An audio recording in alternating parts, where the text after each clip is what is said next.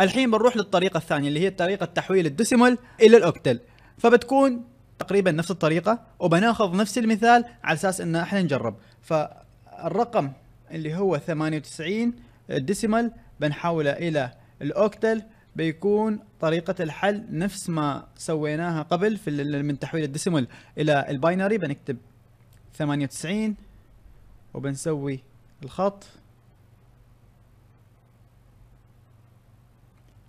هنا بتكون القسمة وهنا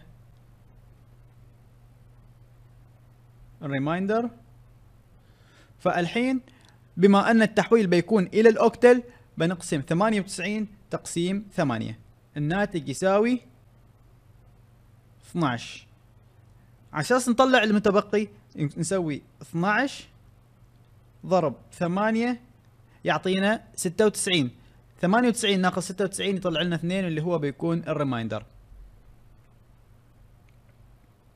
والحين بنسوي 12 تقسيم 8 12 تقسيم 8 يطلع لنا واحد. واحد ضرب 8 يساوي 8 ف 12 ناقص 8 يعطينا الناتج 4 واللي هو بيكون ال remainder.